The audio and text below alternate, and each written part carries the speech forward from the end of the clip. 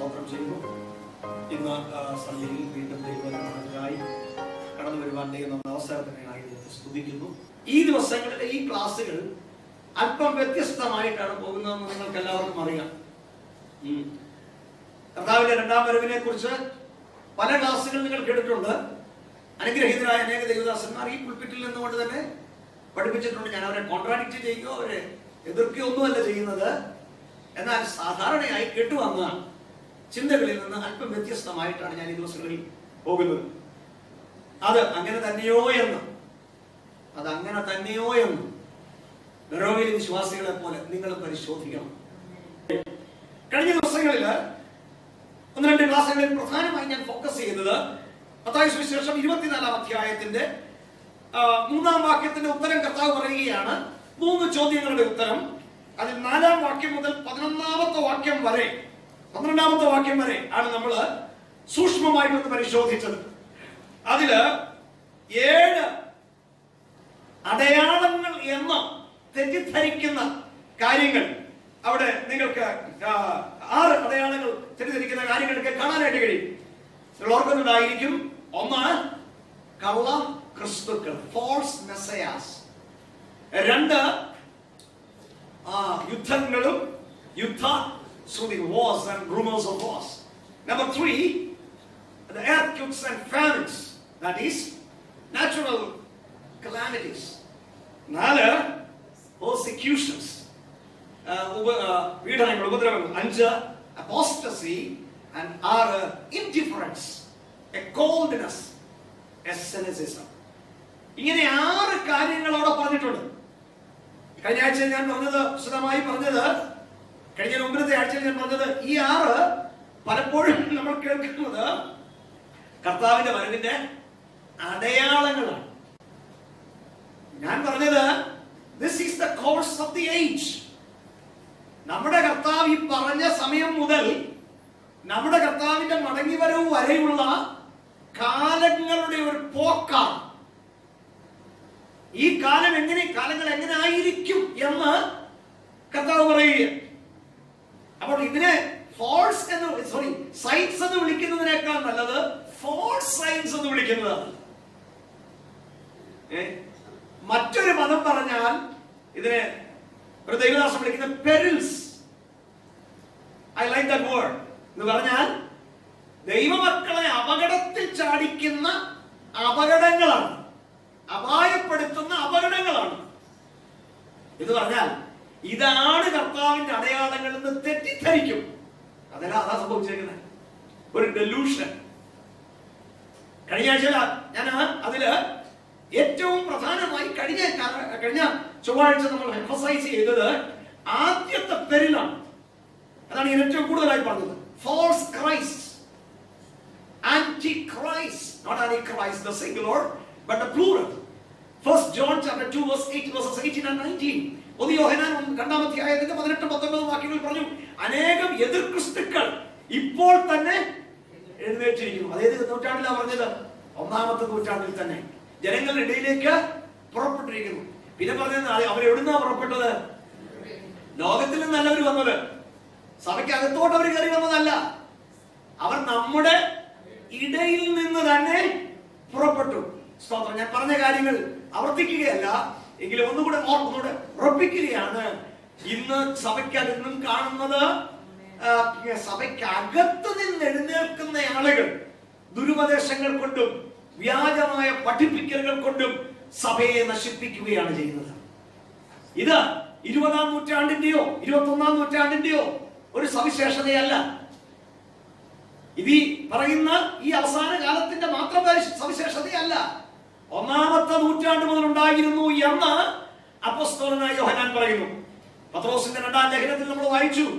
കള്ള കള്ളക്രിസ്തുക്കൾ പ്രവചനവാക്യത്തെ കുറിച്ച് പറഞ്ഞിട്ട് പറഞ്ഞു കള്ളപ്രവാചകന്മാരും ജനത്തിന്റെ ഇടയിൽ ഉണ്ടായിരുന്നു. ഉണ്ടായിരുന്നു. ഉണ്ട് എന്ന പ്രസന്റിലുമല്ല പറഞ്ഞിരിക്കുന്നത്. പത്രോസ് പറയുന്നത് ഉണ്ടായിരുന്നു എന്ന ഭൂതകാലത്തിലാണ് പറഞ്ഞിരിക്കുന്നത്. അപ്പോൾ already it was already it was അപ്പോൾ ഈ ആറ് കാര്യങ്ങൾ അറോ ഏഴോ നമുക്ക് അവിടെ പറയാൻ പറ്റും. അത് ഈ കള്ളക്രിസ്തുക്കൾ കള്ളക്രിസ്തു പിന്നെ യുദ്ധങ്ങളും യുദ്ധശ്രുതികളും ഒരു യുദ്ധവും പുതിയൊരു സംഭവമല്ല.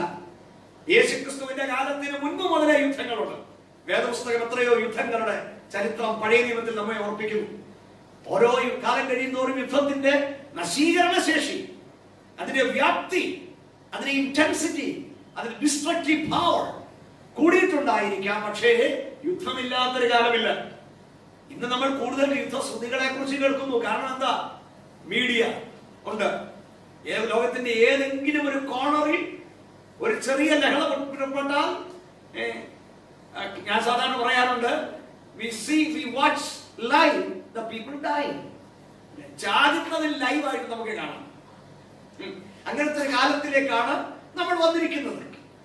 അത് ഏത് ഏത് ലോകത്തിന്റെ ഏത് മുക്കിലും മൂലയിൽ നടക്കുന്നു. അതുകൊണ്ട് കൂടുതൽ യുദ്ധസ്മൃതികൾ അല്ലെ യുദ്ധങ്ങളെ കുറിച്ച് കേൾക്കുന്നു എന്നല്ലാതെ യുദ്ധമില്ലാതിരുന്നൊരു കാലമില്ല. ഭൂകമ്പങ്ങൾ ഇല്ലാതിരുന്നൊരു കാലമില്ല. ക്ഷാമം ഇല്ലാതിരുന്നൊരു കാലമില്ല. പീഡനങ്ങൾ പീഡനങ്ങളുടെ ചിത്രമാണ് പുസ്തക പ്രവൃത്തികൾ. അതിനുശേഷം ഓരോ നൂറ്റാണ്ടിലും ഓരോ കാലത്തും ദൈവവചനമനുസരിച്ച് ജീവിച്ച ദൈവമക്കൾക്ക് ഉപദ്രവങ്ങളുണ്ട്. പറഞ്ഞ ക്രിസ്തു ഭക്തിയോടെ ജീവിപ്പാൻ ആഗ്രഹിക്കുന്നവർക്കെല്ലാം ഉപദ്രവം ഉണ്ടാകും നോട്ട് ന്യൂ എ റയർ എന്ന് പറയുന്നത് ഒരു പുതിയ പ്രതിഭാസവുമല്ല അതൊരു അപൂർവമായ പ്രതിഭാസവുമല്ല. അപസ്തനായ പത്രോസ് പറഞ്ഞത് നിങ്ങൾക്ക് ഈ സംഭവിച്ചിരിക്കുന്ന അഗ്നിശോധനയിൽ ഒരു അപൂർവ കാര്യം നിങ്ങൾക്ക് സംഭവിച്ചു എന്ന് നിങ്ങൾ ചിന്തിക്കരുത്. ഒരു ഫയറി ട്രയൽ ആണ്. ഒരു തീച്ചൂളയിലേക്ക് എടുത്തിട്ടിരിക്കുന്ന അനുഭവമാണ്. എന്നാൽ ഈ തീച്ചൂളയിലേക്ക് എടുത്തിട്ടിരിക്കുന്ന ഈ അനുഭവത്തിൽ നിങ്ങൾക്ക് ഒരു എക്സ്ട്രാ ഓർഡിനറി തിങ് ഒരു അപൂർവമായ കാര്യം ഒരു സ്ട്രേഞ്ച് തിങ് നിങ്ങൾക്ക് സംഭവിച്ചു എന്ന് വിചാരിക്കരുത്. അപ്പൊ persecution is not a strange thing it's not a rare thing it's a common thing for every child of God in every time എല്ലാ കാലഘട്ടത്തിലും ഒരു ദൈവവൈതലിന് പീഡനം ഒരു സ്വാഭാവിക കാര്യമാണ്. അപൂർവമായ ഒരു കാര്യം അല്ല. ഓരോ സ്ഥല സ്ഥലത്ത് അതിന്റെ ഏറ്റക്കുറച്ചിലുകൾ ഉണ്ടാക്കി എന്നാൽ അവൻ ഏറ്റവും അവസാനത്തെ ഒന്ന് ഒരു കാര്യം ഞാൻ അമ്മ സൂചിപ്പിച്ചിട്ട് മുമ്പോട്ട് പോവുകയാണ്. അതിന്റെ പന്ത്രണ്ടാമത്തെ വാക്യം പറയാം. അധർമ്മം പെരുകുന്നത് കൊണ്ട് അനേകരുടെ സ്നേഹം തണുത്തു പോകും അധർമ്മം പെരുകുന്നത് കൊണ്ട് അനേകരുടെ സ്നേഹം തണുത്തു പോകും. മറ്റേ പതിനൊന്നാം വാക്യത്തിൽ പറയുന്നു കള്ളപ്രവാചകന്മാർ വന്ന് പലരെയും തെറ്റിക്കും അല്ലെ? എന്ന് പറഞ്ഞാൽ ഈ മുകളിൽ പറഞ്ഞ ഈ ഫോർ സൈനുകൾ കാണുമ്പോൾ ഇതാണ് ഇതാണ് കർത്താവിന്റെ വരവിന്റെ ലക്ഷണങ്ങൾ എന്ന് ധരിച്ചു പോകും. ഒരു വിധത്തിൽ പറഞ്ഞാൽ ഈ പറഞ്ഞ കാര്യങ്ങളൊക്കെ നമ്മൾ വേദപുസ്തകത്തിൽ വായിക്കുന്നത് ദുരുപദേശങ്ങളെ സംബന്ധിച്ച് പറയുന്ന ഒരു ഒരു ഒരു ചിത്രം എന്ന് പറയുന്നത് വലിയ കൊടുങ്കാറ്റിൽ പെട്ടുഴലുന്ന ഒരു പടക് പോലെയാണ് ഒരു കപ്പലിനോടാണ് ഈ ദുരുപദേശത്തിന്റെ നടുക്ക് നിൽക്കുന്ന വിശ്വാസിയെ ദൈവം അതിനെ ഉപമിക്കുന്നത് അല്ലെ? ഉപദേശത്തിന്റെ ഓരോ കാറ്റിനാൽ ഏ അലഞ്ഞു പോകരുന്നല്ലേ വലഞ്ഞു പോകരുന്നോ ഏ ഉഴന്നു ഒക്കെ വായിക്കുന്നത്. Don't be tossed by the wind of every doctrine up എന്ന് പറഞ്ഞാൽ തന്നെ നിങ്ങളൊരു ബക്കറ്റിലോട്ട് വെള്ളം എടുത്തിട്ട് കടലിൽ പോയി കടലാത്ത കടത്തുണ്ടെങ്കിലും പോയി കാണാൻ പറ്റത്തില്ലെങ്കിൽ ഒരു ഒരു വെള്ളം എടുത്തിട്ട് നിങ്ങൾ അതിലേക്ക് ഒരു കോർക്ക് ഇട്ടാൽ മതി. എന്നിട്ട് ആ വെള്ളം ഒന്ന് മതി. അതെങ്ങനാ എങ്ങനാ മൂവ് ചെയ്യുന്നതെന്ന്? അത് അത് ആടി ഉലയുന്നതെന്ന്.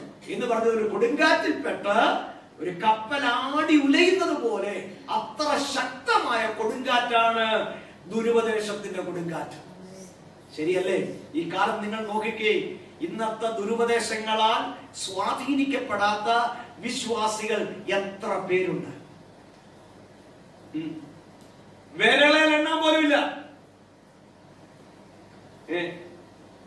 എവിടെ പ്രസംഗിച്ചാലും ഏത് വാക്യമെടുത്താലും നമ്മൾ മെറ്റീരിയൽസ് കൊണ്ട് നിർത്തും. ഏത് വാക്യമെടുത്താലും നമ്മൾ അനുഗ്രഹത്തിൽ കൊണ്ട് നിർത്തും. ഒരു വാക്യം ഇന്ന് കേൾക്കുന്ന തൊണ്ണൂറ്റി ഒൻപത് ശതമാനം പ്രസംഗങ്ങളിലും യേശു ക്രിസ്തുവിങ്കിലേക്കല്ല ആകർഷിക്കുന്നത് കഴിഞ്ഞ ആഴ്ചയിൽ വളരെ വിശദീകരിച്ചുകൊണ്ട് പോകുന്നില്ല. മറ്റൊരു ക്രിസ്തുവിലേക്ക് ഒരു കൗണ്ടർ ഫ്രീ ക്രൈസ്റ്റിലേക്ക് നമ്മുടെ കർത്താവിന് ഏത് രോഗിയെ സൗഖ്യമാക്കാൻ കഴിയാതിരുന്നത്? മർക്കോസിന്റെ സുവിശേഷത്തിൽ വരെ വായിക്കുന്നത് അവൻ സകലവിധ ദീനക്കാരെയും സൗഖ്യമാക്കിയത്. അല്ലേ? സകലവിധ ഓൾ ഡിസീസസ് ഒന്നിനും ഒന്നും ഒന്നും അവൻ ഓർക്കം ചെയ്യാൻ പാടില്ലാത്തതായില്ലായിരുന്നു. മരണം അവനെ ചെറുപ്പിടിക്കുമായിരുന്നു എന്നിട്ട് പാലസ്തീനിലോ ഗലീലയിലോ യഹൂദയിലോ മരിച്ച എല്ലാ വീട്ടിലെയും ആളുകളെ യേശു ഉയർപ്പിച്ചു. ഗലീലയിലും യഹൂദയിലും പാലസ്തീനിലും ഉണ്ടായിരുന്ന സകല രോഗികളെയും അവൻ സൗഖ്യമാക്കിയോ?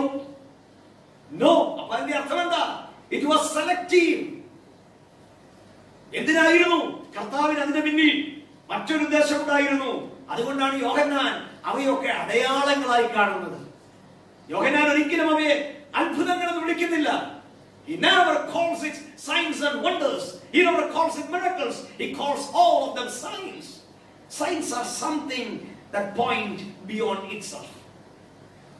അതിൽ തന്നെ വിരൽ അതിലേക്ക് തന്നെ കോൺസെൻട്രേറ്റ് ചെയ്യാതെ മറ്റൊന്നിലേക്ക് വിരൽ ചൂണ്ടുന്നത് അടയാളങ്ങൾ അല്ലേ ഏതൊക്കെ സൈനുകൾ എടുത്തുകൊള്ളുക? അപ്പോൾ ഈ ഇവ ഈ ദുരുപദേശങ്ങൾ വലിയ പ്രഷറാണ് ജനത്തിന്റെ മേൽ ചെലുത്തുന്നത്. വലിയ കൊടുങ്കാറ്റാണ് യഥാർത്ഥ വിശ്വാസികളുടെ മേൽ അഴിച്ചുവിടുന്നത്. സ്തോത്രം. ഏ? അതിനെതിരെ നിൽക്കുന്നതാണ് ഏറ്റവും വിഷമം. ക്ഷാമങ്ങളും ഭൂകമ്പങ്ങളും കേൾക്കുമ്പോൾ യുദ്ധങ്ങളും യുദ്ധസ്ത്രീകളെയും കുറിച്ച് കേൾക്കുമ്പോൾ ഒക്കെ ഇതാണ് കർത്താവിന്റെ വരവ് എന്ന് ആളുകൾ ധരിച്ചു പോയത് നമ്മൾ അങ്ങനെ പാട്ട് പാടുന്നില്ലേ. ഈ യുദ്ധങ്ങളൊക്കെ കേട്ടപ്പോൾ ഞാൻ ഓർത്തു നിന്റെ വരവാണെന്ന്. ഞാൻ ഓർത്തു. അത് സ്വാഭാവികമാണ്. എന്നാൽ കർത്താവ് പറയുക പുസ്തകന്മാരൊന്നും പറയല്ല. കർത്താവ് പറയുക. കർത്താവ് പറയുന്നത് അവസാനത്തോളം ഈ പ്രഷറിനൊന്നും വിധേയപ്പെടാതെ ഏതവസാനം വരെ തന്റെ ജീവിതത്തിന്റെ അവസാനം വരെ പിടിച്ചു നിൽക്കുന്നവൻ അവൻ രക്ഷിക്കപ്പെടും Praise the Lord. ഏ? അപ്പൊ ഇതിനെയൊക്കെ ചെറുത്ത് വിത്ത്സ്റ്റാൻഡ് ചെയ്യുക. സ്റ്റാൻഡ് ഫോം ഉറച്ചു നിൽക്കുക. ഞാൻ അവിടെ മുതലാണ് ഇന്ന് സന്ധിയിൽ ആരംഭിക്കാനായിട്ട് ആഗ്രഹിക്കുന്നത്. എന്നിട്ട് കർത്താവ് അവിടെ പറയുകയാണ് പതിമൂന്നാം വാക്യം. ആ പതിമൂന്നും പതിനാലും വാക്യം നമുക്ക് വായിച്ചാൽ എന്നാൽ അവസാനത്തോളം സഹിച്ചു നിൽക്കുന്നവൻ രക്ഷിക്കപ്പെടും. But in it, is, it begins like that. പക്ഷേ ആ സെന്റൻസ് അവിടെ കൊണ്ടല്ല തീരുന്നത്. ഒന്ന് വായിച്ചു പ്രിയേ But he who stands firm to the end Mm. will be saved. will be saved And this, and uh, uh, this gospel this gospel and this gospel of the kingdom of the kingdom will be preached in the whole world yes as a testimony to all so nations. so but actually but is an introducing word to the second part of the sentence ഉം. ആദ്യത്തെ പാട്ടിന് ചേരും എന്നാൽ എന്നാൽ ഇതൊക്കെ ഉള്ളപ്പോൾ നമുക്കറിയാം ഏതൊരു കാര്യം നമ്മൾ പറഞ്ഞു വരുമ്പോൾ ഒരു ടേണിംഗ് പോയിന്റിലേക്ക് വരുമ്പോഴാണ് പറഞ്ഞു വരുന്ന കാര്യത്തിൽ നിന്ന് ഒന്ന് വ്യതിചലിക്കാനാണ് നമ്മൾ ബട്ട് എന്ന പദം ഉപയോഗിക്കുന്നത് അല്ലേ? അതിനുവേണ്ടി അവർ അത് ഉപയോഗിക്കുന്നത് എന്നാൽ എന്നാൽ ഈ കാര്യങ്ങളൊക്കെ സംഭവിച്ചു എന്ന് പറയുക.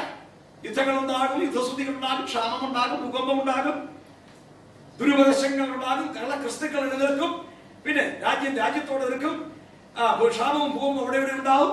കർത്താവ് പറയണം ഇതൊന്നും അവസാനം അല്ല. ഞങ്ങളെ കർത്താവ് പറഞ്ഞത്? ഇതൊന്നും അവസാനം അല്ല. ഇവയൊക്കെ ഈറ്റുനോവിന്റെ ആരംഭമത്രേ. ചില മലയാളികൾ ഉൾപ്പെടെയുള്ള വേദപഠിതാക്കളൊക്കെ ഇതിനെ വ്യാഖ്യാനിക്കുന്നത് കാണുമ്പോൾ എന്റെ അറിയാം പ്രസവ വേദന. അവരതിനെയാണ് വിശദീകരിക്കുന്നത്. വേദപുസ്തകം അതിനെയല്ല വിശദീകരിക്കുന്നത്? വേദപുസ്തകം പറയുന്നതിന്റെ അർത്ഥം every labor is a pain for is a pain for a new birth, a new order, a new life. അപ്പോൾ ഇതൊക്കെ കാണിക്കുന്നത് ഈ കാലം അതിന്റെ അന്ത്യത്തിലേക്ക് നീങ്ങുന്നെന്നും ഈ യുദ്ധങ്ങളും യുദ്ധശ്രുതികളും ക്ഷാമവും ഭൂകമ്പവും ഒക്കെ കേൾക്കുന്നത് ഇതിവിടെ സ്ഥിരമായിരിക്കത്തില്ല. ഇത് തീരുകയും മറ്റൊരു യുഗം വിടരുകയും ചെയ്യും. മറ്റൊരു കാലം ഉണ്ടാകുകയും ചെയ്യും. ഇതിനപ്പുറത്താണ് ഇതാണ് കർത്താവ് അർത്ഥമാക്കുന്ന ശരിയായ രീതി. ഞാൻ പിന്നാലെ അല്പം കൂടെ വേണമെങ്കിൽ ആ ഭാഗത്തേക്ക് ഇറങ്ങാം. ഞാൻ അബ്ബത്ത് എന്ന മതത്തിലേക്ക് ഒന്ന് പറയും. എന്നാൽ ഈ പറഞ്ഞ കാര്യങ്ങളിൽ നിന്ന് ഒന്ന് ഡീവിയേറ്റ് ചെയ്യുക. എന്നാൽ പറയുകയാണ് ഈ അധർമ്മം പെരുകുന്നതുകൊണ്ട് സ്നേഹം നടത്തുപോകും പോകും എന്നാൽ അവസാനത്തോളം സഹിച്ചു നിൽക്കുന്നവൻ രക്ഷിക്കപ്പെടും. പിന്നെ രാജ്യത്തിന്റെ സുവിശേഷം സകല ജാതികൾക്കും സാക്ഷ്യമായി ഭൂലോകത്തിലൊക്കെയും പ്രസംഗിക്കപ്പെടും. അപ്പോൾ അവസാനം വരും. ഏതിന്റെ അവസാനം? ഈ വാക്യത്തിന് രണ്ട് മീനിങ് ഉണ്ട് അതിലെ നമ്മെ ബാധിക്കുന്ന എന്നുള്ള സഭയെ ബാധിക്കുന്ന ഒരർത്ഥത്തിലേക്കാണ് ഈ രാത്രി ഞാൻ പോകുന്നത്. മഹാപീഡന കാലത്തിന്റെ കാര്യം ഞാൻ ഇടയ്ക്ക് വെച്ച് പറഞ്ഞപ്പോൾ ഞാൻ ഈ വാക്യം കോട്ട് ചെയ്തെന്ന് എനിക്ക് തോന്നുന്നു. ഈ പാസേജ് രണ്ട് രീതിയിൽ രണ്ട് മീനിങ് ആണ് ഡബിൾ മീനിങ് ആയിരുന്നു പോകുന്നത് അതിലെ ഒരു മീനിങ് എന്ന് പറഞ്ഞാൽ തീർച്ചയായും കഴിഞ്ഞ ആഴ്ച ഞാൻ പറഞ്ഞു everything is not return to us but everything is return for us എല്ലാം നമുക്ക് നമുക്കായിട്ട് എഴുതിയതല്ല നമുക്ക് വേണ്ടി എഴുതി നമുക്ക് എഴുതിയതല്ല. കൊരിന്ത്യർക്ക് എഴുതിയത്. അത് നമുക്ക് വേണ്ടിയും കൂടി. Return to Corinthians but it is written for us. That's why we read it and it is given to us. The same way അപ്പോൾ ഇവിടെ പറയുന്നത് എന്താ? ഇവിടെ പറയുന്ന ഈ പ്രഷറുകളൊക്കെ സഹിച്ച് ഈ സമ്മർദ്ദങ്ങൾക്കൊന്നും വഴങ്ങാതെ ഇതൊന്നുമല്ല അടയാളം. ഇതൊന്നുമല്ല നോക്കേണ്ടത് എന്ന് കരുതി അവൻ അവസാനത്തോളം സഹിച്ചു നിന്നാൽ ആ വ്യക്തി രക്ഷിക്കപ്പെടും. പിന്നെ പറയുകയാണ് എന്നാൽ അതിനിടയിൽ ഒരു സൈൻ കർത്താവ് പറയുക ശിഷ്യന്മാർ ചോദിച്ചെന്താ ശിഷ്യന്മാർ ചോദിച്ച മൂന്ന് ചോദ്യമാ ചോദിച്ചല്ലേ ഒന്ന് അതെപ്പോൾ സംഭവിക്കും. മറന്നു പോകരുത്. അതെപ്പോൾ സംഭവിക്കും. ഏത്? ദൈവാലയത്തിന്റെ നാശം. രണ്ടാമത് ചോദിച്ചെന്താ നിന്റെ വരവിനും ലോകാവസാനത്തിനും അടയാളമുണ്ട് അപ്പോൾ അവസാനം ഒരവസാനത്തെ കുറിച്ച് ചോദിച്ചുള്ളൂ. ഏതവസാനത്തെ കുറിച്ചാ ലോകാവസാനം. ഞാൻ പറഞ്ഞു ഈ ഭൂമിയുടെ അവസാനമല്ല ഈ പ്രപഞ്ചത്തിന്റെ അടിസ്ഥാനമല്ല ഈ കാലത്തിന്റെ ഈ യുഗത്തിന്റെ അവസാനം. കർത്താവ് പറയും അപ്പോൾ അവസാനം വരും. എപ്പോൾ അവസാനം വരും? ഈ കാലത്തിന്റെ ഈ യുഗത്തിന്റെ അവസാനം വരും. എപ്പോൾ?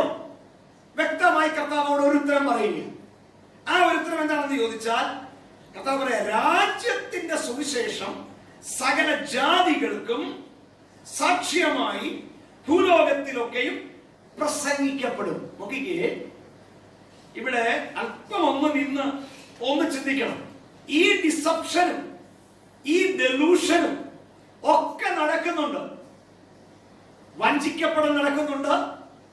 കഴിയുമെങ്കിൽ വൃതന്മാരെയും തെറ്റിക്കത്തക്ക നിലയിൽ ശക്തമായ നിലയിൽ നമ്മൾ വായിച്ചത് അവിടെ എതിർ ക്രിസ്തുക്കൾ എഴുന്നേറ്റ് പലരെയും തെറ്റിക്കുകയാണ്.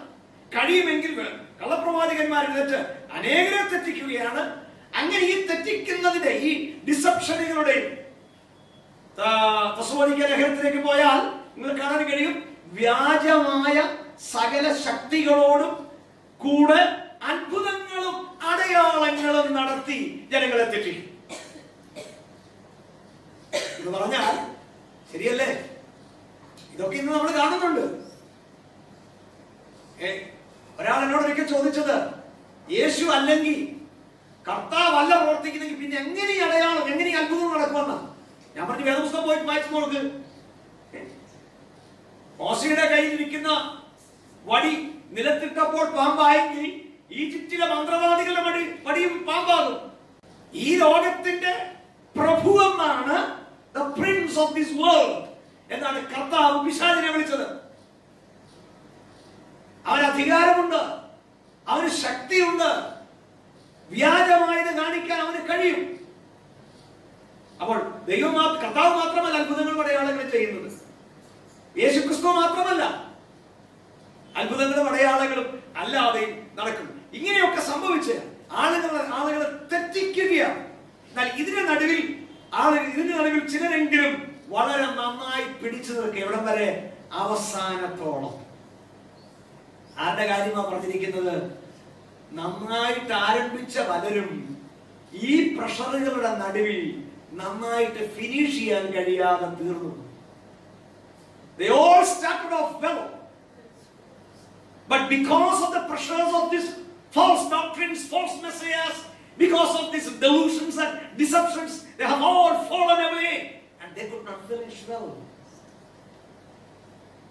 A good beginning is not at all a guarantee that you will finish well. The question is not how you started. The question is how you finish. The question is whether you are very eager, anxious, excited about right doctrines, about the right things in the very beginning, but slowly and slowly you have fallen away. And finally, you entered at nowhere. That is the saddest thing. അല്ലേ?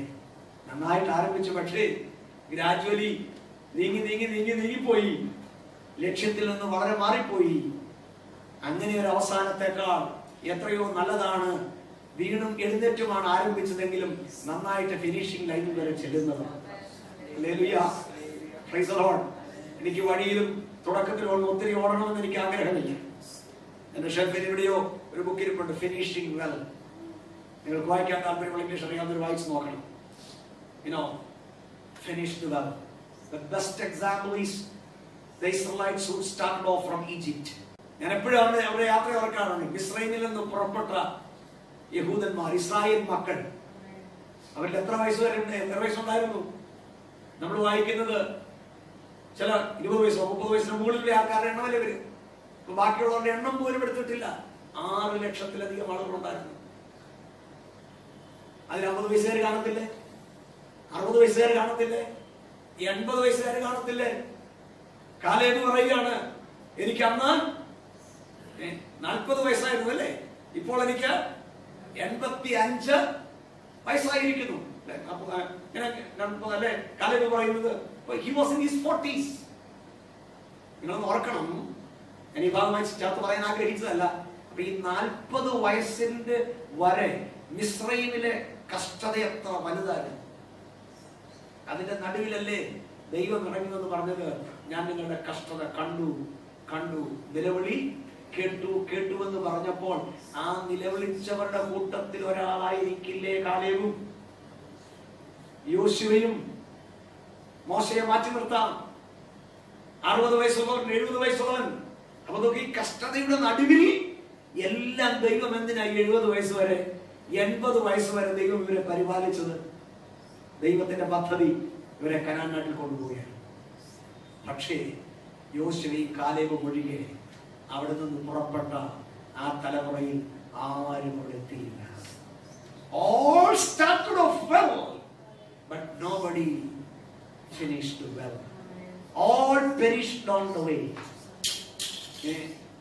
അവരെല്ലാം വഴി പട്ടുപോയി. നശിച്ചുപോയി. ഈ perish എന്ന വാക്കൊരു പ്രത്യേക പദമാണ് ഞാനൊക്കെ പറഞ്ഞു പോയാൽ പല വഴികളിലേക്ക് പോകും. ഈ പെരിഷ് എന്ന വാക്ക് നമ്മൾ മർഡറോ കില്ലോ ഡിസ്ട്രോയോ ഒന്നുമല്ല. ഒരു പഴം എങ്ങനെ ചീഞ്ഞ് അലിഞ്ഞ് പോകുന്നത് ഇല്ലാതായി പോകുന്നത് ഗ്രാജുവൽ ക്രമേണ ക്രമേണ ക്രമേണ ക്രമേണ അഴുക്കായി അഴുക്കായി അഴുക്കായി നശിച്ച് നശിച്ച് നശിച്ച് പോകുന്ന പെരീഷ് അവരെ കുറിച്ച് പറഞ്ഞിരിക്കുന്നത് എന്ന് പറഞ്ഞാൽ എവിടെയോ വെച്ച് അവരുടെ അപജയം ആരംഭിച്ചതാ. അതിനെ ചെക്ക് ചെയ്യാമായിരുന്നു. മടങ്ങി വരാമായിരുന്നു. തക്ക സമയത്ത് ചികിത്സ കിട്ടിയിരുന്നെങ്കിൽ ഒരു റിക്കവറി ഉണ്ടായിരുന്നു. എന്നാൽ farther and farther went back one day finished. They could not finish the race. ദൈവം നമ്മുടെ മിശ്രയിൽ നിന്ന് വിടുവിച്ചത് മരുഭൂമിയിൽ നശിക്കാൻ വേണ്ടിയാണ്. മനസ്സിലായില്ലേ മരുഭൂമി കൊടു കൊടിയ ചൂടുള്ളതാണെന്നും മരുഭൂമി ഉഗ്ര സർപ്പങ്ങളുടേതാണെന്നും മരുഭൂമിയിലെ തണുപ്പ് അതികഠിനമാണെന്നും ഒക്കെ ദൈവം അറിഞ്ഞിട്ടാണ് മരുഭൂമിയിലൂടെ ദൈവം കൊണ്ടുവന്നത്. ആ ദൈവത്തിന് മരുഭൂമിയുടെ പ്രതികൂലാവസ്ഥയെ അതിജീവിച്ചുകൊണ്ട് കനാനിൽ എത്തിക്കാനുള്ള പ്രൊട്ടക്ഷൻ തരാൻ ദൈവത്തിന് അറിയാം. അപ്പോൾ ഇത് നമ്മുടെ എന്തിനാ പഴയ നിയമത്തിൽ വന്നിരിക്കുന്നത്? ഇത് ക്രിസ്തീയ ജീവിതത്തിന് ഒരു വലിയ നിഴല. നമ്മൾക്ക് ഏത് മരുഭൂമിയാ? നമുക്ക് പല മരുഭൂമികൾ ഉണ്ടാകാം. ഞാൻ ചിലതായി ഇവിടെ പറഞ്ഞിരിക്കും നമ്മെ തകർത്ത് കളയാൻ ഉള്ള ഈ ഫോർ സയൻസ് ഇതൊക്കെ നമ്മൾ നശിപ്പിച്ച് കളയാൻ വരുമ്പോൾ അവസാനത്തോളം not only standing but withstanding അതിനെതിരെ ചെറുത്ത് നിന്നാൽ അതിനെല്ലാം അതിജീവിച്ച് തീർക്കാൻ അക്കരെ എത്താൻ ദൈവം അനുവദിക്കും എന്നിട്ട് കർത്താവ് പറയാണ് നോക്കിക്കേ അപ്പൊ ഒരു വശത്ത് ജനത്തിന് അല്ലെങ്കിൽ അല്ലെ ദൈവമക്കൾക്ക് ഈ ഫോഴ്സ് സൈനികരുടെ വലിയ പ്രഷറുകൾ ഈ പെരിൾസിന്റെ വലിയ പ്രഷർ ഉണ്ടെങ്കിലും മറുവശത്ത് ഒരു പോസിറ്റീവ് സൈഡ് ഉണ്ടായിരുന്നു. എന്താണെന്നറിയാമോ? രാജ്യത്തിന്റെ സുവിശേഷം വ്യാപിച്ചുകൊണ്ടേ ഇരിക്കുകയും ഇവിടെ എന്താ? പതിമൂന്നാം വാക്യത്തിൽ പതിനാലാം വാക്യത്തിൽ വായിക്കുന്നത് ഈ സുവിശേഷം സകല ജാതികൾക്കും സാക്ഷ്യമായി ഭൂലോകത്തിലൊക്കെയും പ്രസംഗിക്കും. ആര് പ്രസംഗിക്കും? ഏ ഈ യേശുക്രിസ്തുവിന്റെ ശിഷ്യന്മാർ ഈ യുദ്ധങ്ങളെ കുറിച്ചും യുദ്ധസുദ്ധികളെ കുറിച്ചും അവരും കേട്ടില്ലേ? ഈ റിയൽ ബിലീവേഴ്സും കേട്ടില്ലേ? ക്ഷാമവും ഭൂമ്പും അവരും കേട്ടില്ലേ? അവരാരെയും അനുഭവിച്ചില്ലേ? ഈ ഉപദ്രവങ്ങൾ അവരും നേരിട്ടില്ലേ? ഇതെല്ലാം അവർ നേരിട്ടു. കള്ളക്രിസ്തുക്കൾ എഴുന്നേറ്റ് വൃതന്മാരെയും തെറ്റിക്കത്തക്ക നിലയിൽ വലിയ ആക്രമണങ്ങൾ അഴിച്ചുവിട്ടു. പക്ഷെ അപ്പോഴും അവരെ അവരെ സൂക്ഷിച്ചൊരു ശക്തിയുണ്ട്. സ്തോത്രം. അതോടൊപ്പം തന്നെ ഇതിന്റെ എല്ലാ മധ്യത്തിലും ദൈവരാജ്യത്തിന്റെ സുശേഷം പറയാൻ അവരെ പ്രാപ്തരാക്കി പ്രാപ്തമാക്കുന്ന ഒരു ദൈവത്തിന്റെ പരിശുദ്ധാത്മാവുണ്ട് സ്തോത്രം. അതാ കർത്താവ് പറഞ്ഞല്ലേ കർത്താവ് പറഞ്ഞത് ഏ ഞാൻ എന്റെ പിതാവിനോട് ചോദിച്ച് മറ്റൊരു കാര്യസ്ഥനെ നിങ്ങളുടെ അടുക്കൽ അയക്കും കർത്താവ് ഉയർന്ന സ്വർഗാരോഹണം ചെയ്ത സമയത്ത് കർത്താവ് എന്താ- പറഞ്ഞത്? നിങ്ങൾ ശക്തി ധരിച്ചിട്ട് ഭൂലോകത്തിലൊക്കെ ഹൂദിയിലും യെരുശലേമിലും യഹൂദിയിലും ശബരിയിലും ഭൂമിയുടെ അറ്റത്തോളം എന്റെ സാക്ഷികൾ ആകും. ഒന്നാം നൂറ്റാണ്ടിനെ നിങ്ങളൊന്ന് നോക്കിക്കേ. ഏ പൗരൂസം മറ്റും ചെയ്യുന്നത് എന്തോ മന്ത്രവാദമാണെന്ന് കണ്ട് പത്രോസൊക്കെ കാണിക്കുന്ന ഏതോ ഏതോ ചെപ്പടി വിദ്യയാണെന്നും കണ്ട് ആവശ്യത്തിന് ദ്രവ്യം തരാം. എനിക്കും ഇതിന്റെ ഒരു പങ്ക് തരണമെന്ന് പറഞ്ഞ് വന്ന സൈമൺ മാഗസ് നമ്മൾ വായിക്കുന്നത് ആ ക്ഷണത്തിൽ അവനെ ഒടുക്കിക്കളഞ്ഞു ഏ വ്യാജത്തിന്റെയും ഫോഷ്കിന്റെയും മൂടുപടമണിഞ്ഞുകൊണ്ട് ദൈവസഭയിലേക്ക് വന്ന അനന്യ സഫീറമാരെ ദൈവാത്മാവിന്റെ ശക്തിയിൽ ഭസ്മീകരിച്ചു വന്നു സ്തോത്രം. അല്ലേ? ഏ അപ്പം ദുരുപദേശങ്ങളെയും ദൈവത്തെ ദൈവജനത്തെ നശിപ്പിക്കുന്ന ഓരോ ഘടകങ്ങളെയും എതിർത്ത് നിൽക്കാൻ മാത്രമല്ല അപ്പോൾ തന്നെ ദൈവരാജ്യത്തിന്റെ വ്യാപ്തി നടന്നുകൊണ്ടിരിക്കുകയാണ്. അപ്പോൾ ഒരു വിധത്തിൽ പറഞ്ഞാൽ കർത്താവ് ഇവിടെ ഒരു യഥാർത്ഥ അടയാളം പറയുകയാണ്. അടയാളം എന്ന് പറയാമെങ്കിൽ കർത്താവ് പറയുകയാണ് അവസാനം വരുന്നതിന് മുൻപ് രാജ്യത്തിന്റെ സുവിശേഷം ഭൂലോകമെങ്ങും സാക്ഷ്യമായി ഭൂലോകത്തിലൊക്കെയും പ്രസംഗിക്കപ്പെടും. അപ്പോൾ അവസാനം വരും. ഏതിന്റെ അവസാനം വരും? ഈ വേദപുസ്തകത്തിന്റെ നമ്മുടെ ഭാഷയിൽ പറഞ്ഞാൽ ഈ ലോകത്തിന്റെ. ഇംഗ്ലീഷ് ബൈബിളിന്റെ അടിസ്ഥാനം പറഞ്ഞാൽ വേൾഡ് അല്ല ഏജ് ഈ യുഗത്തിന്റെ ഈ കാലം അപ്പോൾ അവസാനിക്കും. ഞാനവിടെ ഒത്തിരി നിൽക്കുന്നില്ല. പതിനഞ്ചാം വാക്യം കൂടെ ചേർത്ത് വായിച്ചാൽ തുടങ്ങിയാണ്. ആ വാക്യം പതിനഞ്ച് മുതലുള്ള വാക്യം ഞാൻ പിന്നാലെ കൂടുതൽ വിശദീകരിക്കാം. എന്നാൽ ദാനിയൽ പ്രവാചകൻ മുഖാന്തരം അരളി ചെയ്തതുപോലെ ശൂന്യമാക്കുന്ന മ്ലേച്ഛത വിശുദ്ധ സ്ഥലത്ത് നിൽക്കുന്നത് നിങ്ങൾ കാണുമ്പോൾ വായിക്കുന്നവൻ ചിന്തിച്ചു കൊള്ളട്ടെ. യഹൂദിലുള്ളവർ മലകളിലേക്ക് ഓടിപ്പോകട്ടെ. അപ്പോൾ അപ്പോൾ അവസാനം വരും. ഏതവസാനം? ഈ യുഗത്തിന്റെ അവസാനം. ഈ യുഗം ഏതാണ്? കൃപായുഗം. അപ്പൊ ഈ കൃപായുഗത്തിന്റെ അവസാനം എപ്പോൾ സംഭവിക്കും? എക്സാക്ട് ടൈം അല്ല പറഞ്ഞിരിക്കുന്നത്. ഡേറ്റും അല്ല പറഞ്ഞിരിക്കുന്നത്. ഒരു ടൈം ഒരു ടെനുവർ ഒരു സീസൺ പറഞ്ഞിരിക്കുകയാണ്. ഭൂലോകമെങ്ങും രാജ്യത്തിന്റെ സുവിശേഷം പ്രസ്താവിക്കപ്പെടും. അപ്പോൾ അവസാനം വരും. അതുകൊണ്ട് തന്നെ വേദപുസ്തകം സൂക്ഷ്മമായി പഠിക്കുന്ന പല തിയോളജിയൻസും ചിന്തിക്കുന്നത് ഈ പതിനാലാം വാക്യത്തിനും പതിനഞ്ചാം വാക്യത്തിനും ഇടയിലാണ് ദൈവസഭയുടെ ഉൽപ്രാവണം നടക്കുന്നത്. ആൻഡ് ഫിഫ്റ്റീൻ ഈ പതിനാലും പതിനഞ്ചിനും പതിനഞ്ചും വാക്യത്തിന് ഇടയിലാണ് ഈ കാര്യം ദൈവസഭയുടെ എടുക്കപ്പെടൽ ദൈവസഭയുടെ ഉൽപ്രാവണം നടക്കുന്നത്. കാരണം അവിടെ പറഞ്ഞിരിക്കുന്നു ദാനിയൽ പ്രവാചകൻ പറഞ്ഞതുപോലെ ശൂന്യമാക്കുന്ന മ്ലേച്ഛത വിശുദ്ധ സ്ഥലത്തിൽ നിൽക്കുന്നത് കാണുമ്പോൾ വായിക്കുന്നവൻ ചിന്തിച്ചു കൊള്ളട്ടെ. ഞാൻ ആ ഭാഗങ്ങൾ ആ ഭാഗത്തേക്ക് ഞാൻ ഇറങ്ങി പോകുന്നുണ്ട്. ഇപ്പോൾ ഞാൻ ഈ അടയാളങ്ങളുടെ ഈ ഡിസപ്ഷനെ കുറിച്ച് കൂടുതൽ പറയുന്നത് കൊണ്ട് ഞാൻ അതിന്റെ ഒരു കണ്ടിന്യൂഷനിലേക്ക് പോവുകയാണ്. എന്താണ് ശൂന്യമാകുന്ന മ്ലേച്ഛത അവിടെ വായിക്കുന്നത് വിശുദ്ധ സ്ഥലത്ത് നിൽക്കുന്നത് കാണുമ്പോൾ ദൈവാലയത്തിൽ ദാനിയേലിന്റെ പ്രവചനങ്ങളെ ചേർത്ത് വെച്ച് നമ്മൾ പഠിക്കുമ്പോൾ മനസ്സിലാക്കുന്നത് ആന്റി ക്രൈസ്റ്റ് കഴിഞ്ഞ ക്ലാസ്സിൽ ആന്റി ക്രൈസ്റ്റ് പ്ലൂറൽ പറഞ്ഞു എതിർ ക്രിസ്തുക്കൾ ഇവിടെ അന്തി ക്രിസ്തു എന്ന വ്യക്തിയെ അവിടെ ഇൻട്രൊഡ്യൂസ് ചെയ്യുക. അന്തി ക്രിസ്തു എന്ന വ്യക്തിയെ ഇൻട്രൊഡ്യൂസ് ചെയ്യുക. അപ്പോൾ അവിടെ പറയുന്നതിന്റെ അർത്ഥം എന്താ? ഈ വാക്യത്തിന്റെ വാക്യങ്ങളുടെ ആ ഓർഡർ കൃത്യമായിട്ടെടുത്താൽ അന്തിക്രിസ്തു വെളിപ്പെട്ടു വരുന്നതിന് മുൻപേ ഈ യുഗത്തിന്റെ അവസാനം വരും. മനസ്സിലായോ? വെളിപ്പെട്ടു വരുന്നതിന് മുൻപേ ഈ യുഗത്തിന്റെ അവസാനം വരും. അപ്പോൾ അവസാനം വരും. ആർക്കെങ്കിലും എന്തെങ്കിലുമൊക്കെ കൺഫ്യൂഷൻ ഉണ്ടെങ്കിൽ ഈ ഒരു ക്ലാസ് കൊണ്ട് മാത്രം ജഡ്ജ് ചെയ്യേണ്ട.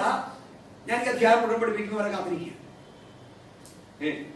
അതിനകത്ത് എന്നാൽ ദാനിയൽ പ്രവാചകൻ മുഖാന്തരം വള്ളി ചെയ്യുന്നത് പോലെ ശൂന്യമാക്കുന്നത് മ്ലേച്ഛ- മ്ലേച്ഛത വിശുദ്ധ സ്ഥലത്ത് നിൽക്കുന്നത് നിങ്ങൾ കാണുമ്പോൾ വായിക്കുന്നവൻ ചിന്തിച്ചു കൊള്ളട്ടെ. അപ്പോൾ ഈ യുഗം അവസാനിച്ചോ എന്ന് ഒന്ന് ജഡ്ജ് ചെയ്യാൻ വേണ്ടി കർത്താവ് പറഞ്ഞിരിക്കുന്ന ഒരു സൈനാണ് ഇനി അപ്പൊ ഞാൻ പറഞ്ഞത് ഇതിനിടയിൽ റാപ്ചർ നടക്കുന്നത്. ഈ അധ്യായത്തിൽ തന്നെ കർത്താവ് സഭയ്ക്ക് വേണ്ടി വരുന്നതിനെയും സഭയോടൊത്തു വരുന്നതിനെയും നമുക്ക് കാണാൻ കഴിയും. ഏറ്റവും കൂടുതൽ സഭയോടൊത്തു വരുന്ന കർത്താവിന്റെ മഹത്വ പ്രത്യക്ഷതയാണ് ഈ ഇരുപത്തിനാലാം അധ്യായത്തിന്റെ പ്രധാനപ്പെട്ട ചിന്തകൾ കാണുന്നത്. ഇരുപത്തിനാലാം വാക്യത്തിൽ വായിച്ചത് മിന്നൽ കിഴക്ക് നിന്ന് പടിഞ്ഞ് പുറപ്പെട്ട് പടിഞ്ഞാറോളം വിളങ്ങും പോലെ മനുഷ്യപുത്രന്റെ വരവ് ആകും. ശവമുള്ളിടത്ത് കിഴക്കൽ കൂടും. ഇവ മുപ്പതാം വാക്യത്തിൽ വായിച്ചത് അപ്പോൾ മനുഷ്യപുത്രന്റെ അടയാളം ആകാശത്തുളങ്ങും അന്ന് ഭൂമിയിലെ സകല ഗോത്രങ്ങളും പ്രലപിച്ചും കൊണ്ട് മനുഷ്യപുത്രൻ ആകാശത്തിലെ മേഘങ്ങളിന്മേൽ മഹാശക്തിയോടും തേജസ്സോടും കൂടെ വരുന്നത് കാണും. ഇവിടെ കർത്താവിന്റെ വരവിന്റെ രണ്ട് ഘട്ടങ്ങൾ കൃത്യമായി നമുക്ക് മനസ്സിലാക്കാൻ കഴിയും. ഈ ഭാഗത്ത് അത് അത്ര വ്യക്തമല്ലെങ്കിലും പിന്നീട് അപസ്തോലനായ പൗലസും മറ്റും പറയുന്ന ആ ചിന്തകൾക്കനുസരിച്ച് എന്ന് പറഞ്ഞാൽ ഈ എൻഡ് ഓഫ് ദി ഏജ് ഈ കാലഘട്ടത്തിന്റെ അവസാനം എങ്ങനെയായിരിക്കും വരുന്നത്?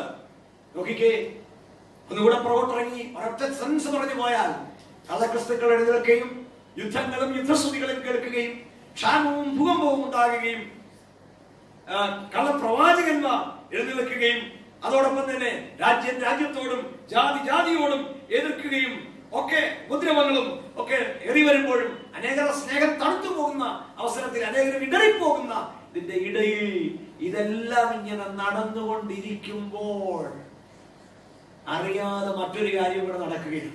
അല്ലെ? അറിഞ്ഞുകൊണ്ടൊരു കാര്യം ഇവിടെ നടക്കുകയാണ്. എന്താണെന്ന് അറിയാമോ കർത്താവിന്റെ രാജ്യം വികസിച്ചു കൊണ്ടിരിക്കുകയാണ് സ്തോത്രം. കഴിഞ്ഞ ദിവസം നമ്മുടെ കണ്ണിന്റെ മുമ്പിൽ കണ്ടില്ലേ? നമ്മൾ പോലും ഇന്ന് വരെ കേട്ടിട്ടില്ലാത്ത നമ്മുടെ തൊട്ടയലത്തുണ്ടായിരുന്ന ഒരു ജാതി സമൂഹത്തെ നേടാൻ ഒരു ചെറുപ്പക്കാരൻ ചെന്നു.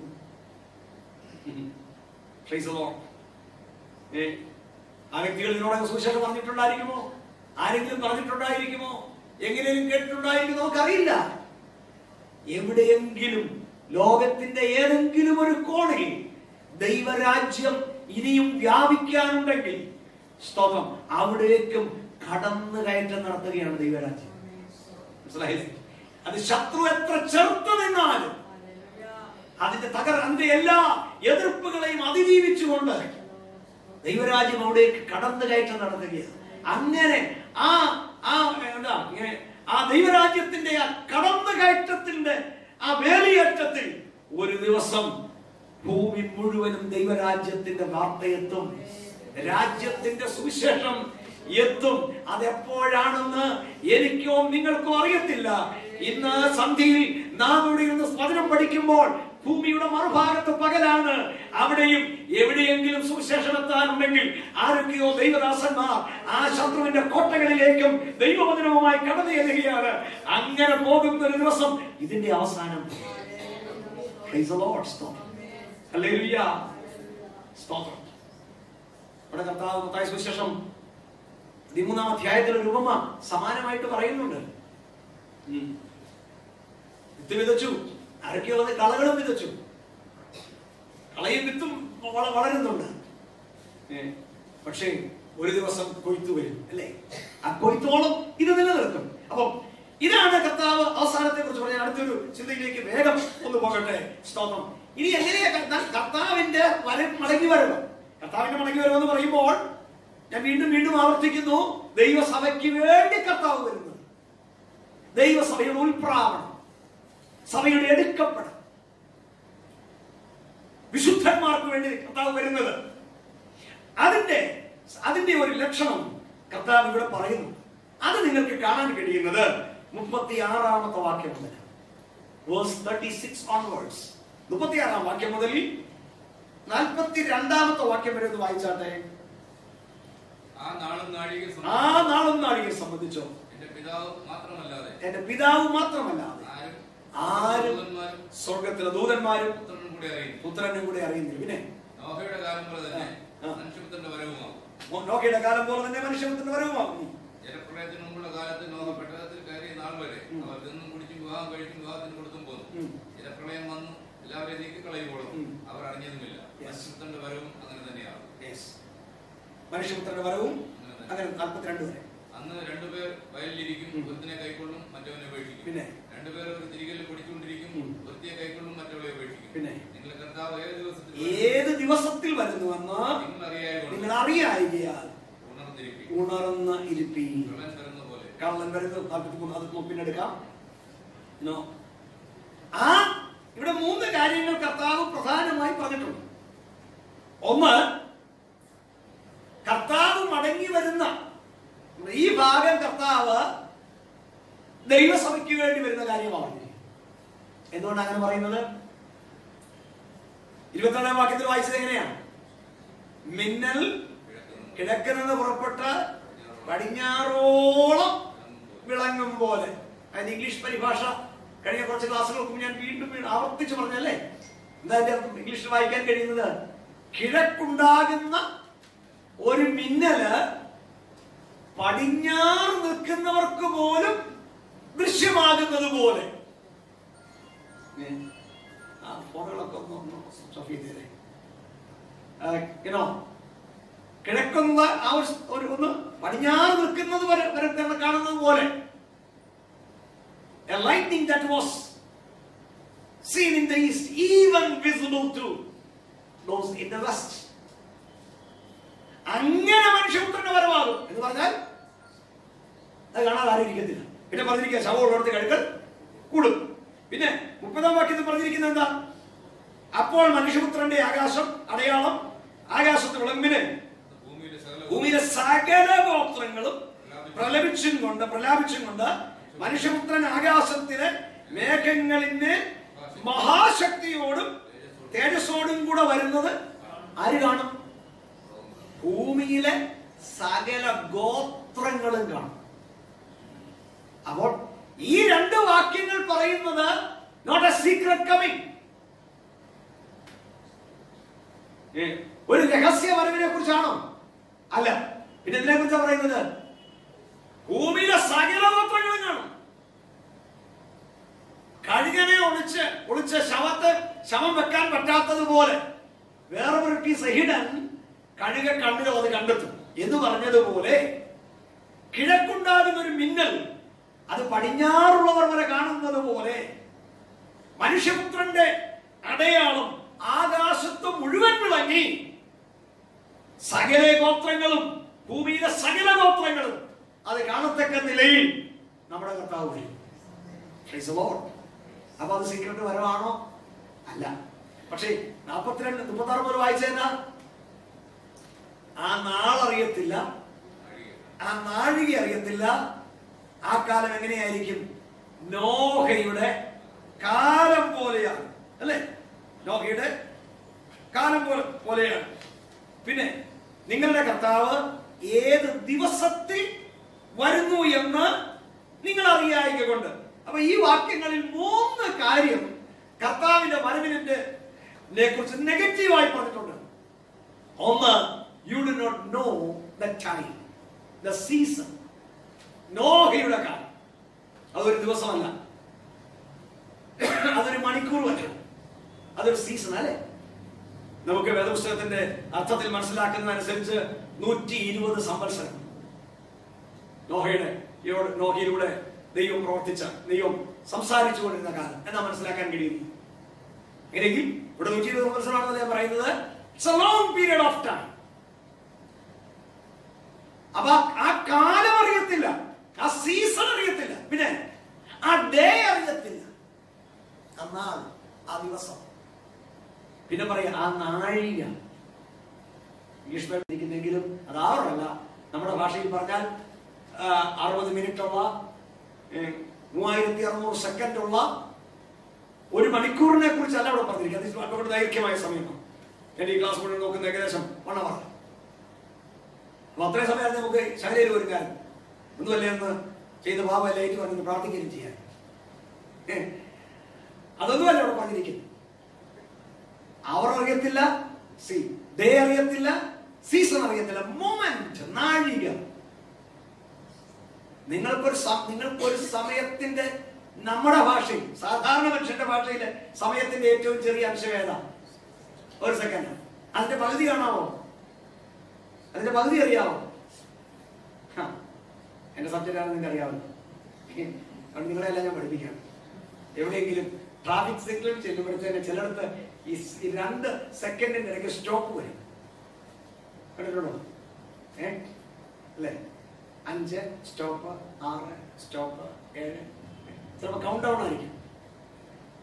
പത്ത് സ്റ്റോപ്പ് ഒമ്പത് സ്റ്റോപ്പ് അപ്പോൾ ഒരു പത്തിനും ഒരു സ്റ്റോപ്പിനും ഇടയ്ക്കുള്ളത് അര സെക്കൻഡ് അര അര സെക്കൻഡ് കാരണം പത്തിന് ഒമ്പതിനും ഇടയ്ക്ക് ഒരു സെക്കൻഡ് അതിന്റെ രണ്ടും കണക്കിൽ സ്റ്റോപ്പ് ഏ?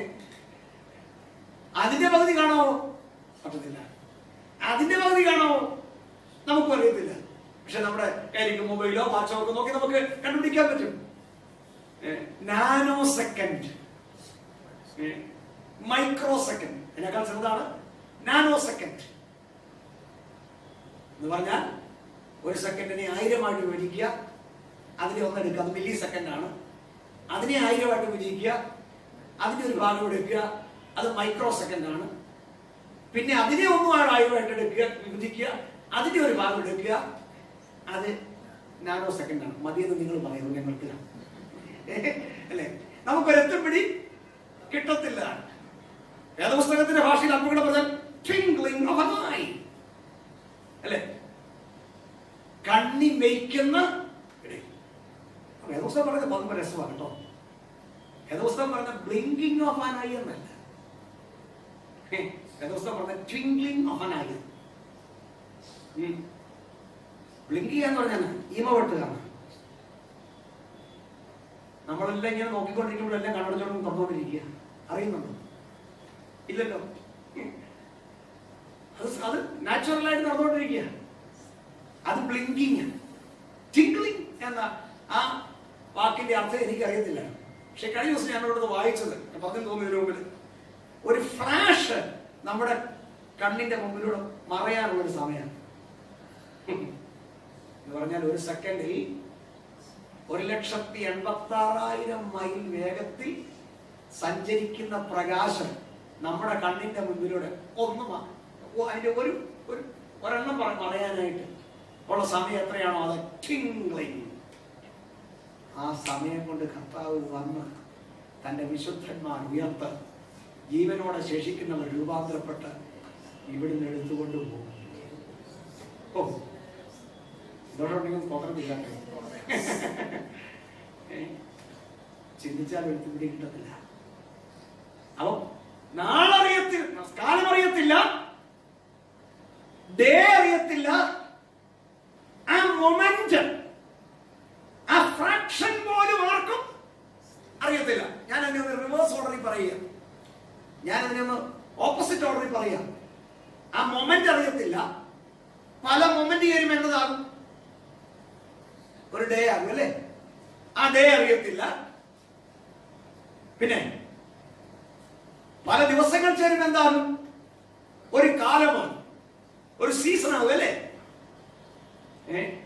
അപ്പോൾ ആ കാലവും അറിയത്തില്ല ആ ദിവസവും അറിയത്തില്ല ആ മൊമെന്റും അറിയത്തില്ല. പിന്നെ എങ്ങനെ കർത്താവിന്റെ വരവിന് അടയാളം പറയാൻ പറ്റുന്നത്? ഇത് പി. ജെ. രാജു പാസ്റ്ററിന്റെ തിയോളജി അല്ലല്ലോ.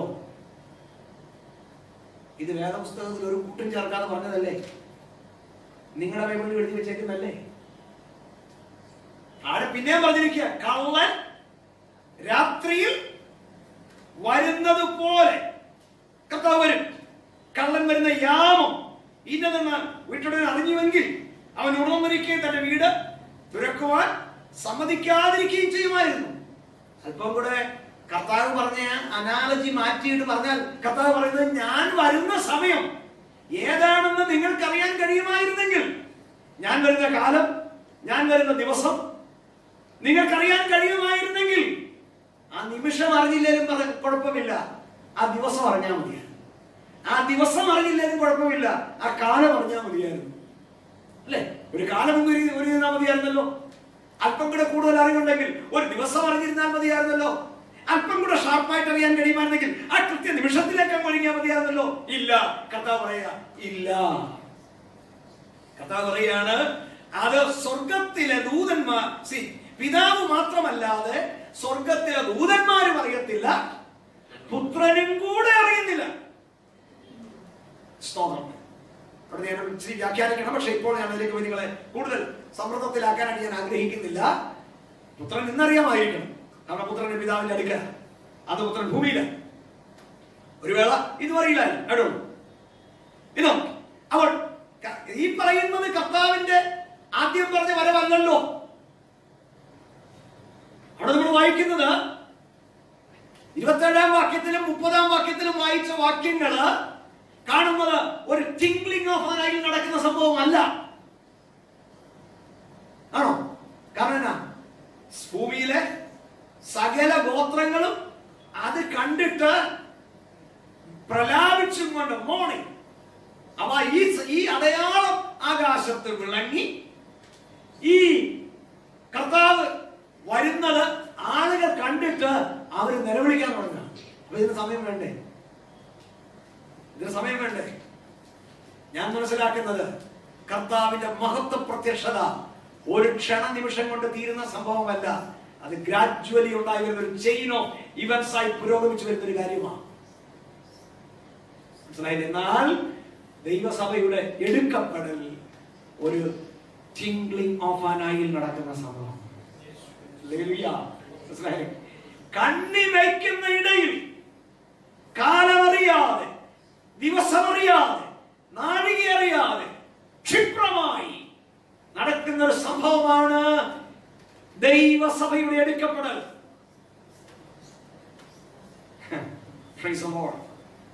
ദൈവസഭയുടെ എടുക്കപ്പെടൽ എന്ന് പറയുമ്പോൾ ദ ചർച്ച് യഥാർത്ഥ സഭയുടെ. എന്ന് പറഞ്ഞാൽ ഇവിടെ വീണ്ടും സഭ കാണും.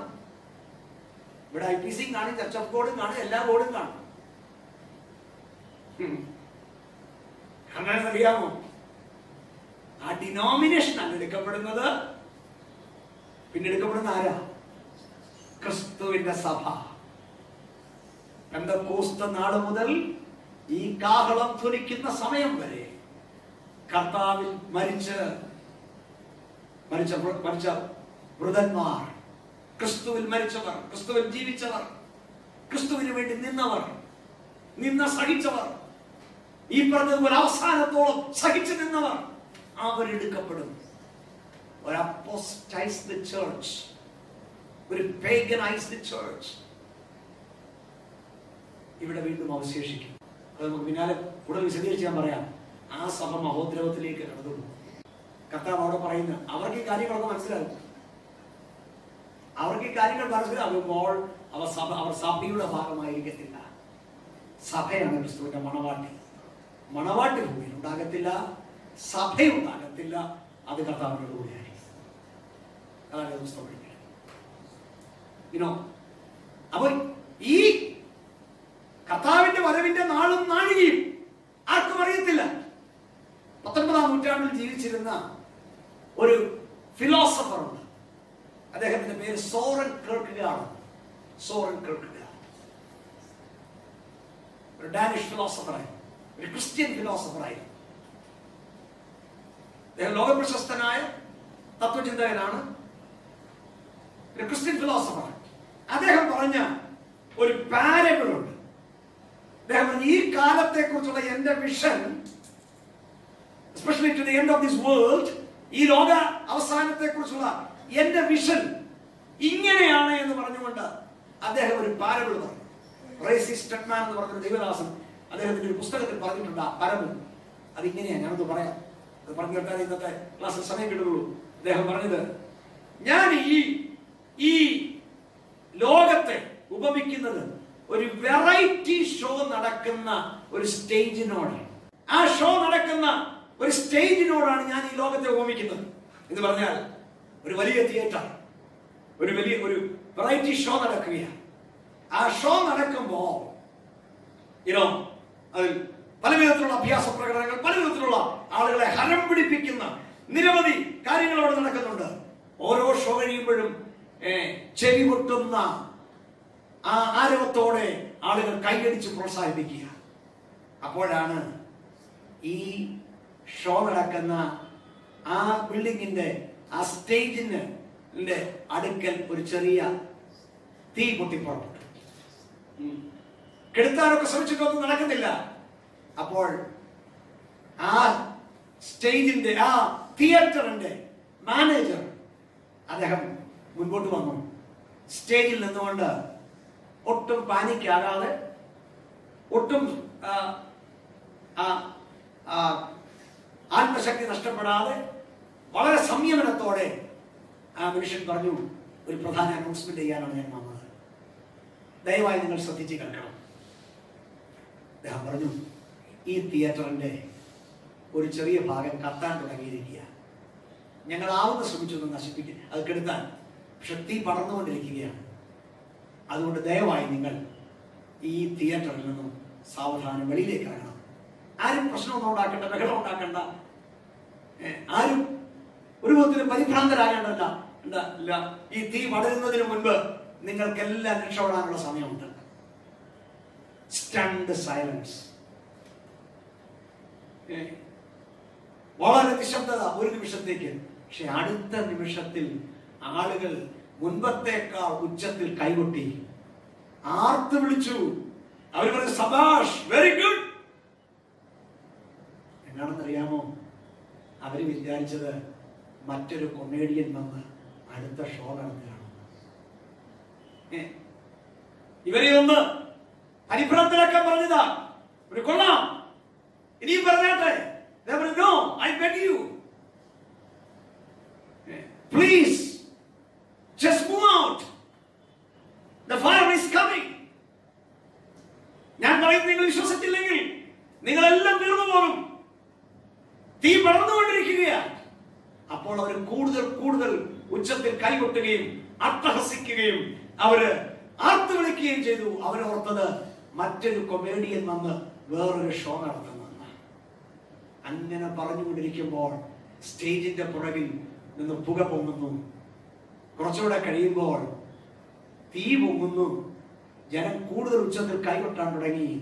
അവർ വിചാരിച്ചത് സ്റ്റേജിന്റെ സ്റ്റേജിന്റെ ഇഫക്റ്റ് കൂട്ടാനുള്ള കാര്യങ്ങൾ നടക്കുകയാണ്.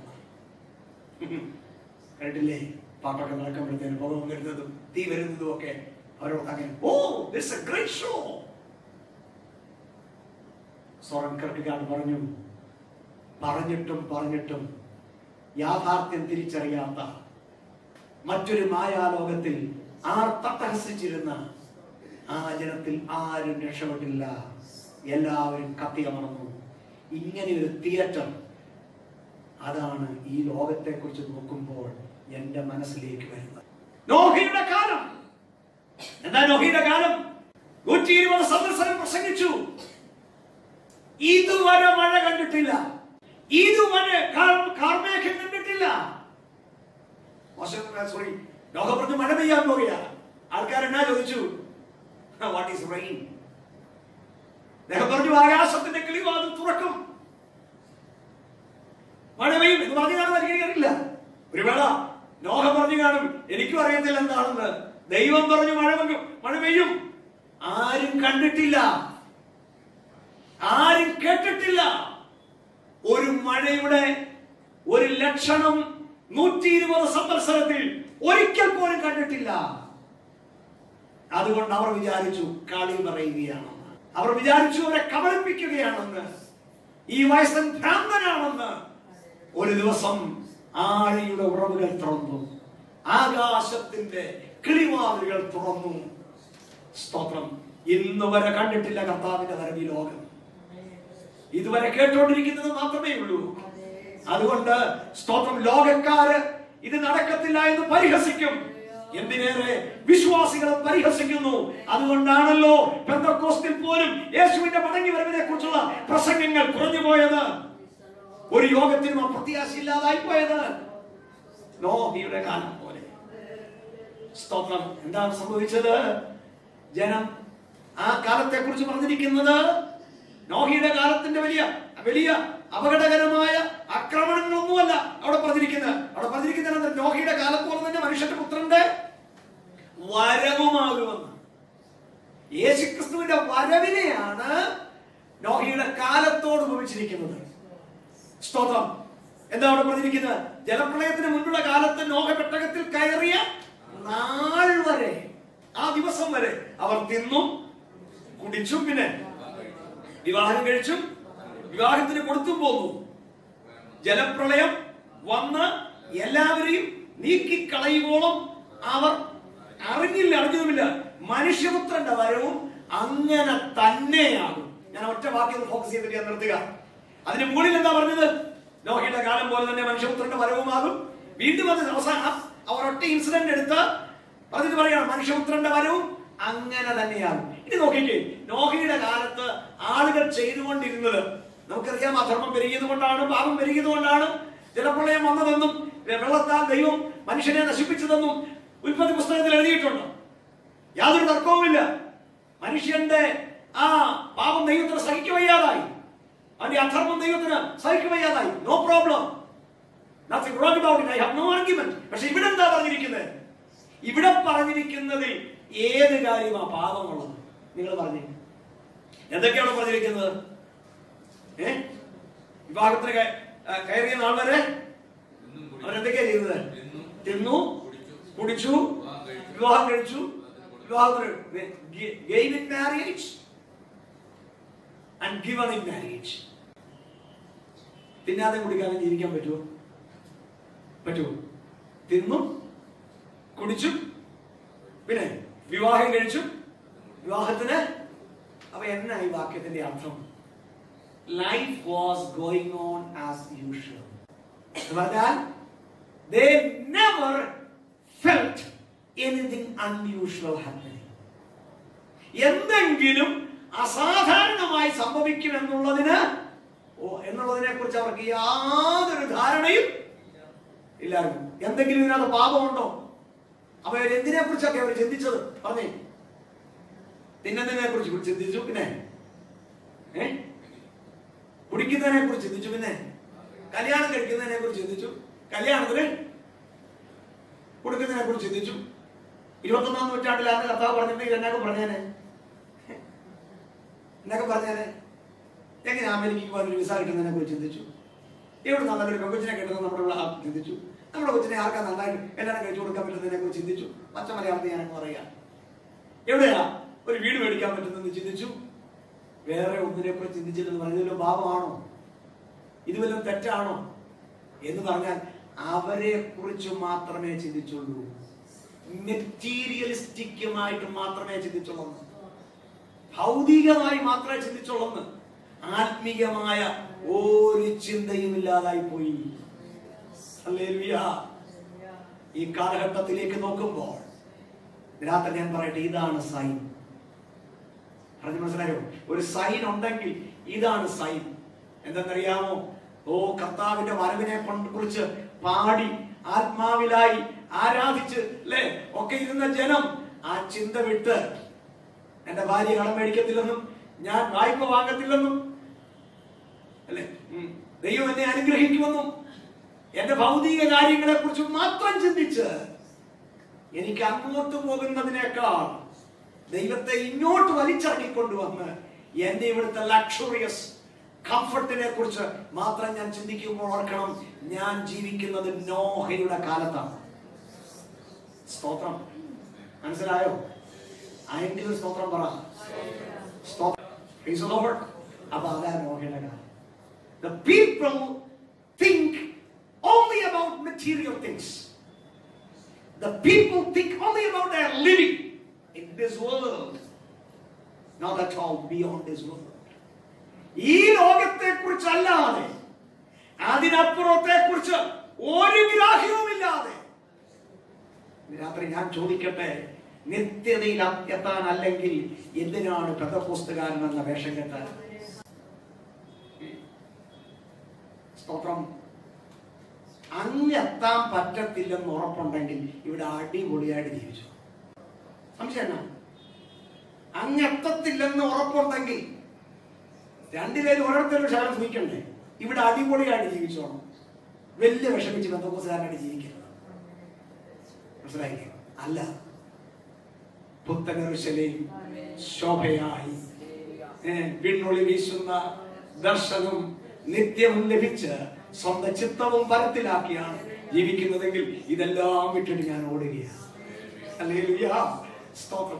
എനിക്കിതൊന്നും വേണ്ട.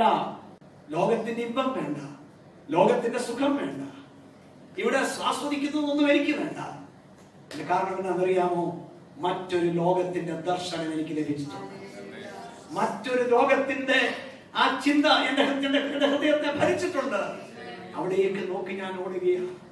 അങ്ങനെയെങ്കിൽ ദൈവവേദനെ സകല ഭാരവും മുറുകെ പറ്റുന്ന പാപവും വിട്ട് നമുക്ക് മുന്നിൽ വെച്ചിരിക്കുന്ന ഓട്ടം സ്ഥിരതയോടെ ഓടും.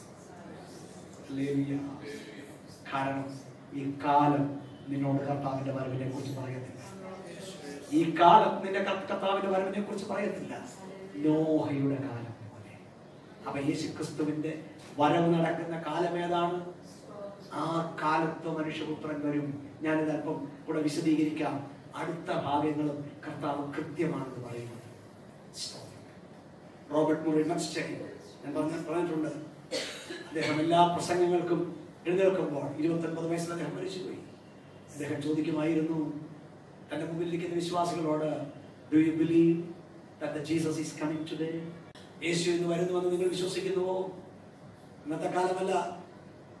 പതിനെട്ടാം നൂറ്റാണ്ടായിരുന്നു തോന്നുന്നു. അവരെല്ലാം പറയും no we don't believe not come today Robert Murray Mustaine പറയും that is the sign makes me vigilant അതാണ് എന്നെ കർത്താവിന്റെ വരവിന് വേണ്ടി നോക്കി പാർക്കാൻ എന്നെ പ്രാപ്തനാക്കി തീർക്കുന്നത് എന്ന് പറഞ്ഞാൽ ആരും വരത്തില്ലെന്ന് ചിന്തിക്കുന്ന നിമിഷത്തിൽ അവന്റെ വരവിന്റെ ധ്വനി മുഴങ്ങും. ഇവിടെ കയറി വരുവീൻ എന്ന ഒരാത്മവിളി വിളി കേൾക്കും.